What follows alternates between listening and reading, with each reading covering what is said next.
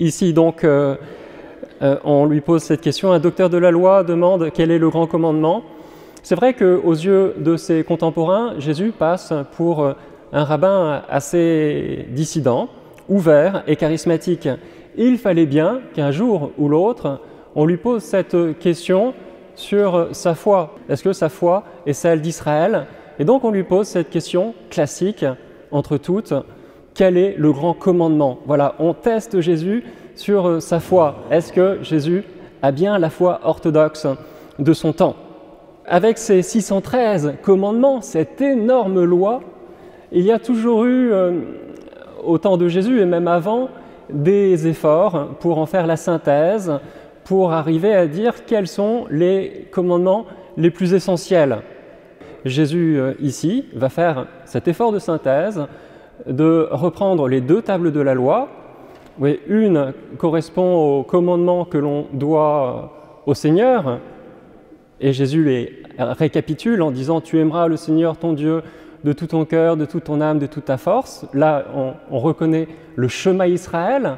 C'est un commandement très important pour, euh, pour Israël, si bien que si vous entrez dans les familles juives, dans les appartements ou les maisons, eh bien, sur la droite, sur le linteau, vous trouverez une petite boîte custode avec euh, le premier mot, c'est-à-dire la première lettre du premier mot de ce verset très très connu. Écoute, Israël, le Seigneur ton Dieu est l'unique.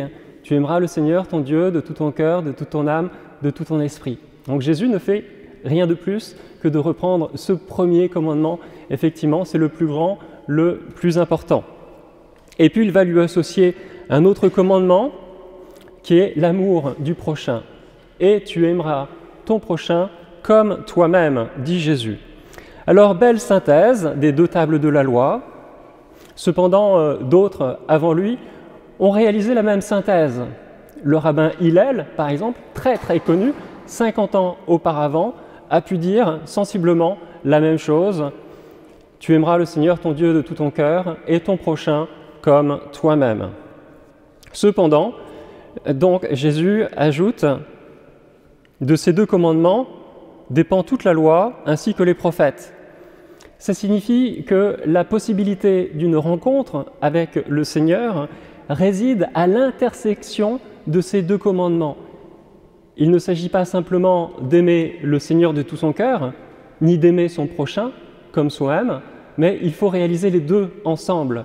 la vie chrétienne consistera toujours à tenir en équilibre ces deux commandements, l'amour du prochain et l'amour de Dieu.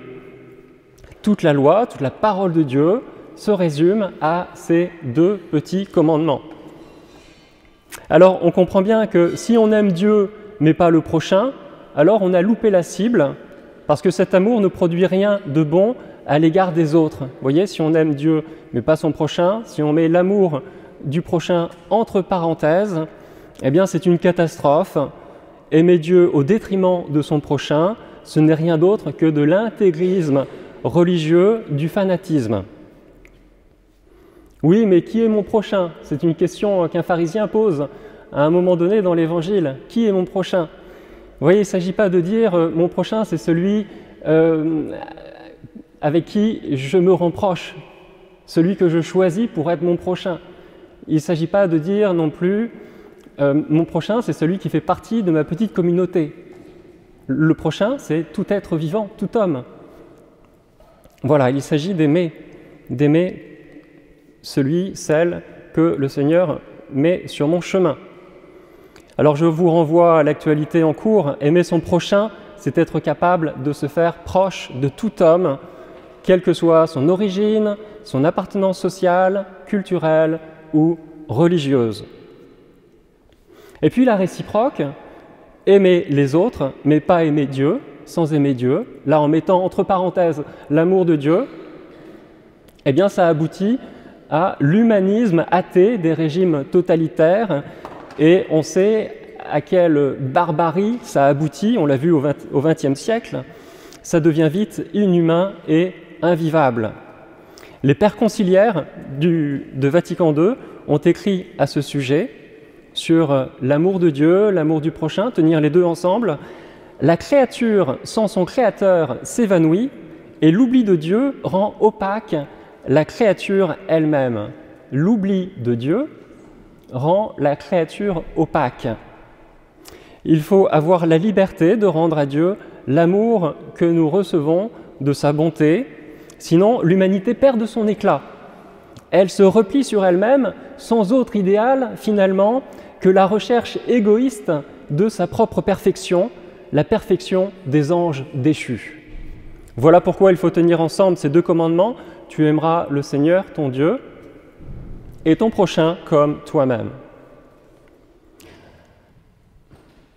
Alors très concrètement, ça signifie quoi? Ça signifie que euh, dans l'idéal, il faudrait euh, se demander si on a pris le temps de se tourner euh, vers le Seigneur, non pas simplement le dimanche, aujourd'hui, mais tous les jours de la semaine. Par notre baptême, nous sommes orientés vers le Seigneur comme Jésus est tourné vers le Père. Et donc cette orientation fondamentale qui est dans le cœur de Jésus, il nous l'a laissée le jour de notre baptême et nous sommes orientés vers lui. C'est le premier verset euh, de l'évangile selon Saint Jean. Au commencement était le Verbe et le Verbe était tourné vers Dieu.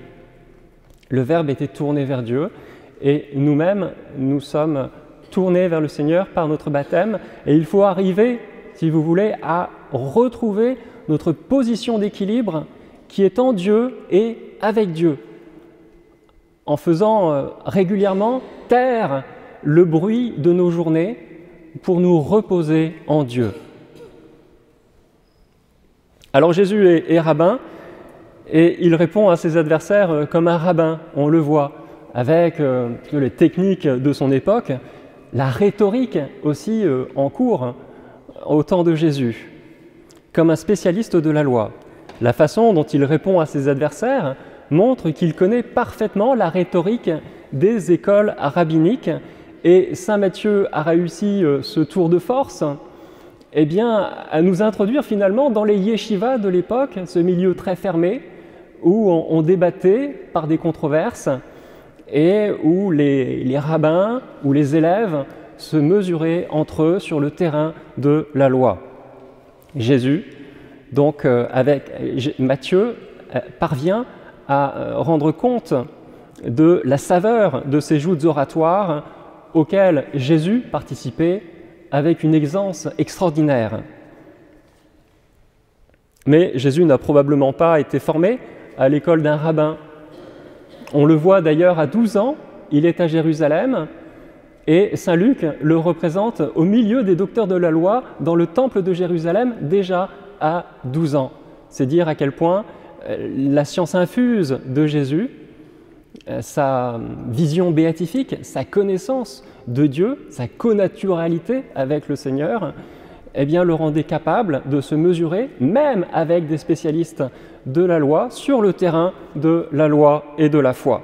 Pourquoi? Parce qu'il était orienté vers Dieu.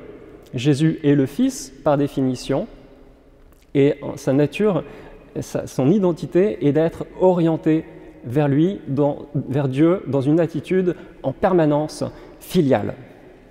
L'oubli de Dieu rend la créature opaque, mais Jésus est entraîné par le poids de la gloire de Dieu.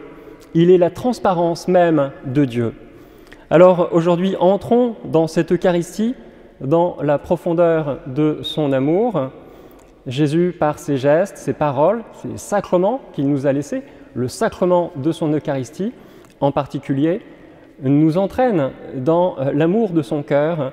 Il nous partage la relation intime et extraordinaire qu'il entretient avec son Père.